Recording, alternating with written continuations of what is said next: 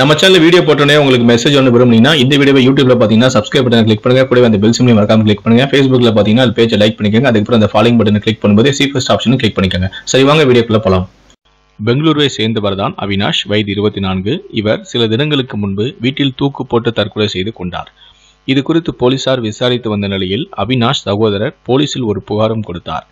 அதில் அவர் தற்கொலைக்கு தூண்டப்பட்டு உள்ளார். அவரை தற்கொலைக்கு தூண்டியவர்கள் மீது நடவடிக்கை எடுக்க வேண்டும் என கூறியும் இருந்தார். அந்த புகாரின் பேரில் விசாரணை நடத்திய நிலையில் அவினாஷை ஹனி டிராப் கும்பல் தற்கொலைக்கு தூண்டியது தெரிய வந்தது இது தொடர்பாக இரண்டு பேரை போலீசார் கைதும் செய்தனர். அவரிடம் நடத்திய விசாரணையில் பரபரப்பான தகவலும் வெளியானது. எம்பிஏ பட்டதாரியான அவினாஷுக்கு முகநூலில் நேகா சர்மா என்ற பெண்ணுடன் பழக்கம் ஏற்பட்டு இருந்தது. இதனால் அவர்கள் இரண்டு பேரும் தங்களது செல்போன் எண்களையும் பரிமாறி பேசியும் வந்தனர். மேலும் இரண்டு பேருமே ஆபாசமாக பேசி வந்ததுடன் நிர்வாணமாக வீடியோ அழைப்பிலும் பேசியிருந்ததாக தெரிகிறது.